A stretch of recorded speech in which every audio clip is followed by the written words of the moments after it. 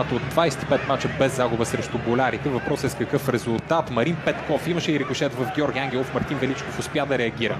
Елджи Мили продължава напрежението в наказателното поле. Елджи Мили успява да реализира в седмата минута на добавеното време второ попадение за Джават Елджи Мили в двубоя и 3 на 0 за Левски. Успяха болярите да се справят при първия опит дело на Марин Петков. След това обаче не можаха да сторят същото, когато Джавател Джемили пое топката в наказателното бойно. Достатъчно хладнокръвно отиграване от Джавател Джемили. Иначе Марин Петков потърси свободния Преслав Бачев в наказателното поле.